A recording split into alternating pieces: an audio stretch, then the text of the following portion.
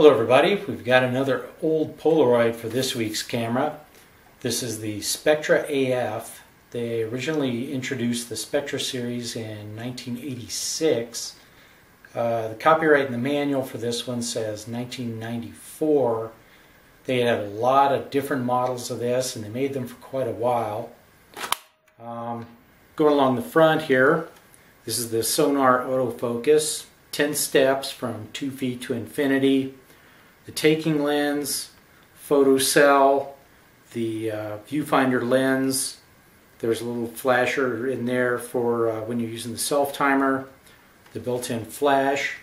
The lens, they call it a Quintic, but it's a three element uh, 125 millimeter lens. Uh, it's about equivalent to a 46 millimeter on a 35 millimeter camera. It's f10 to f45, so it's not real bright.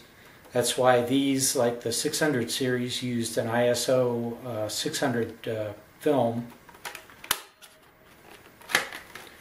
The shutter button on the top and on the back, starting over here, feet and meters, uh, and then the uh, whether it makes a sound or not for your feedback, self timer, autofocus on and off. With autofocus off, it's only good for 15 feet out to infinity.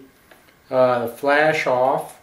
This slider lets you darken or lighten your images so you can kind of fine tune it at the cost of taking test shots. Um, there's a light that flashes here, lets you know that the flash is charging or when it's solid you're good to go.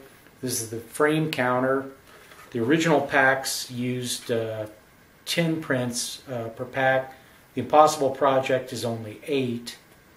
Um, that's about all I could think of. Oh, in the viewfinder, uh, it had some kind of idiot lights. If you had a green light and a number, the green light meant the exposure was good. The number was how far away you are from your subject.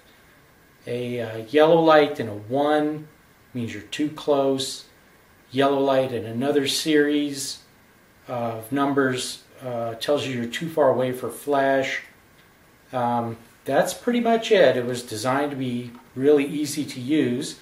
So I'll finish out the roll and I'll see you then.